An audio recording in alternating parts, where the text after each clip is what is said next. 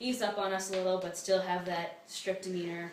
We play. We played a game once where we had to pick a word from a bag, and we had a minute to talk about it. We had toothpaste, which that went kind of downhill kind of fast. um, and we got to know each other a little bit better and what it means to work together. And then at uh, 10 o'clock, it would be lights out, and they would play taps to honor the fallen troopers, which was the memorial, which was I could view outside my window. And then it would be that.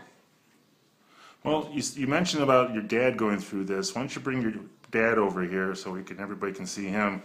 Because uh, your dad works for the state police. He was a trooper at one time, and he went through a longer version of what you went through. And uh, why don't you introduce yourself, sir? Hi, Joe Broder. I'm a sergeant with the Michigan State Police.